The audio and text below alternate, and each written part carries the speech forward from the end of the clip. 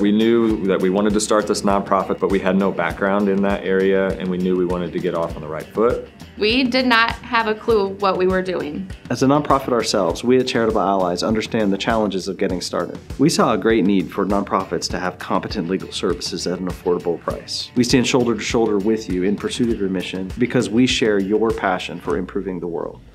We started Charitable Allies as a charity to fill that need and to represent nonprofits and their stakeholders. Zach came to our office and, kind of whiteboarded with me for a while to see what we really needed. Um, he said, What are you trying to accomplish? And at the end of it, we came up with a plan of what we implemented, and it's worked very well.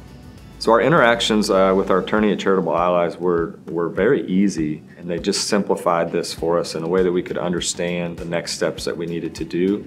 Um, and we had our homework on our end, and then they would pick it up and run with it, and just made it very easy on us.